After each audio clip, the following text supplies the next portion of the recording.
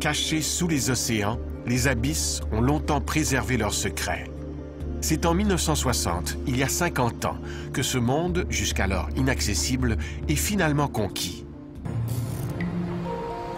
Auguste Picard, un savant suisse, est à l'origine de cette conquête. Mais avant d'explorer les abysses, il étudie la stratosphère.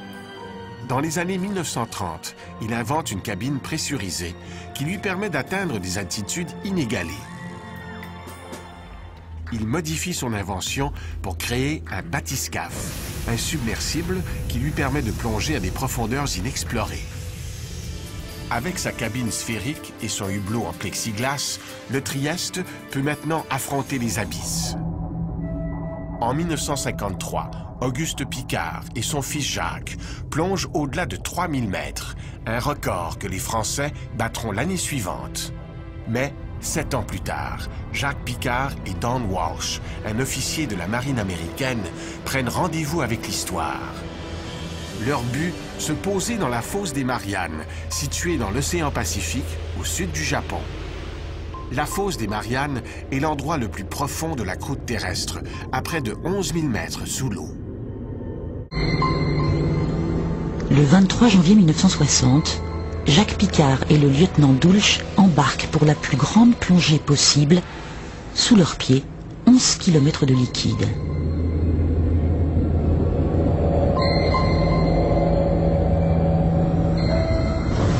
Aucune inquiétude dans la solidité du bathyscaphe. Il pouvait y avoir des, petits accros secondaires quelconques, parce que quand même, 11 000 mètres, c'est 1100 kilos par centimètre carré. C'est euh, le, poids d'une voiture sur l'ongle du petit doigt, si vous voulez. C'est beaucoup, c'est certain. On pourrait euh, imaginer des, des petits pépins. Mais que la cabine lâche, premièrement, c'est on peut dire impossible, en fait elle n'a pas lâché, et deuxièmement, si on ne s'en serait même pas aperçu si elle s'était écrasée. Parce que euh, à ces profondeurs-là, si la cabine s'écrasait, les, morceaux, des deux côtés se, rencontreraient l'un l'autre avec la vitesse du son approximativement. Donc on serait tué instantanément, on ne s'en apercevrait pas.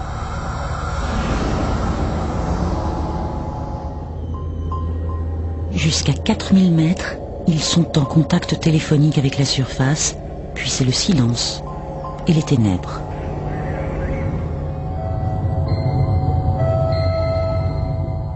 Après quatre heures de descente, le sonar détecte le fond. Les projecteurs dévoilent alors une plaine de sédiments et le bathyscaphe se pose en douceur. Et au moment où on s'est posé sur le fond, au milieu de notre cercle de lumière, qu'est-ce qu'on voit? Un poisson un poisson, de la vie, dans l'endroit le plus noir et le plus profond du monde. Une véritable bombe dans notre connaissance du monde vivant. Ce jour-là de 1960, l'Everest sous-marin est conquis. Le record de la plongée profonde est battu à jamais.